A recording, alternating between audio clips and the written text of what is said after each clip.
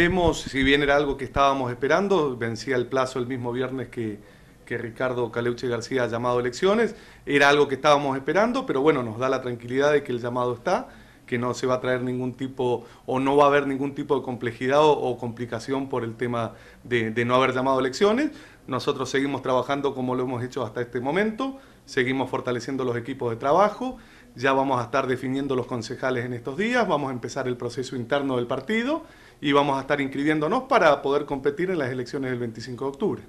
Las, las, bancas de los concejales todavía no están decididas entonces en el grupo. ¿Qué pasa con el equipo que va a acompañar la conducción en caso de llegar a Poder Ejecutivo?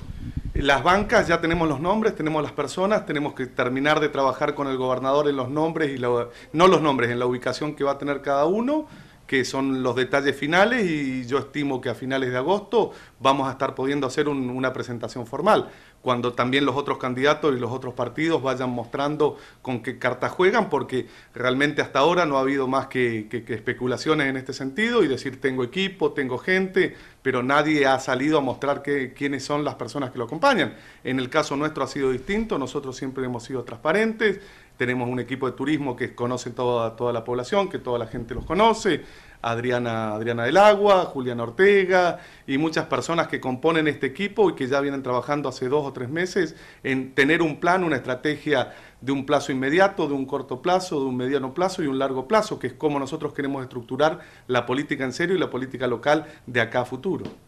Cuando hablamos de la política en serio, ¿a qué hace referencia puntualmente? ¿De qué manera se demuestra esto de la política en serio como para que el vecino que quizás dice, bueno, sí, lo dicen porque están en campaña? No, no,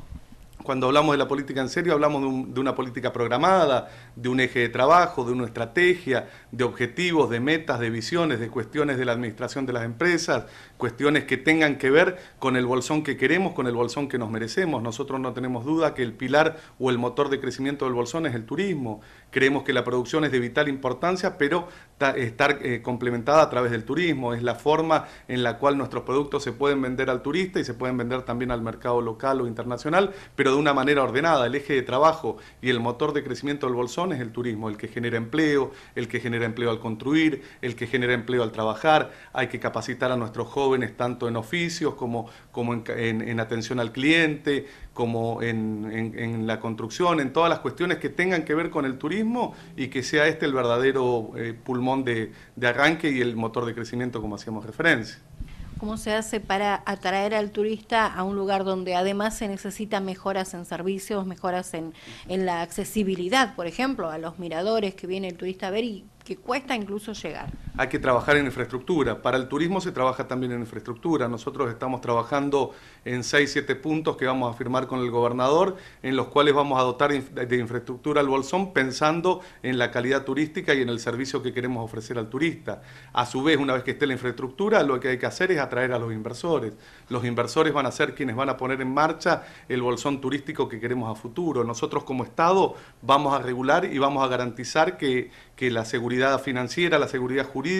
se puede y está, está sentada en el bolsón, como hasta ahora no, no, no, no ha pasado y no se ha demostrado. El inversor con seguridad jurídica viene e invierte. la provincia y el bolsón generan la infraestructura. Hay que arreglar los, los caminos. Si uno tiene el camino a, a la cabeza del indio, por ejemplo, que no se puede llegar y el turista que va a la cabeza del indio sufre robos y no tiene la seguridad adecuada que tiene que tener, no nos podemos jactar de ser una ciudad turística. Y es en ese sentido en el que tenemos que trabajar y en el que estamos trabajando nosotros desde nuestro equipo de trabajo y desde todas las personas que nos acompañan y nos siguen en este proyecto.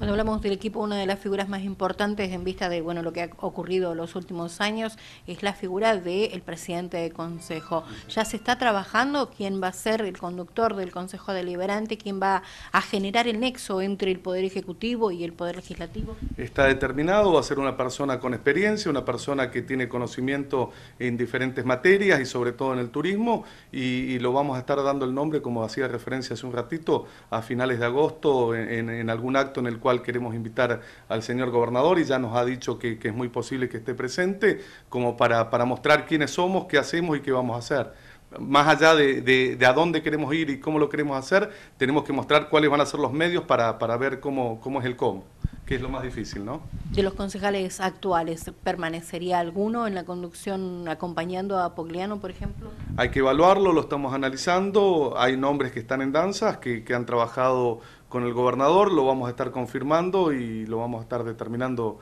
en, en estos días.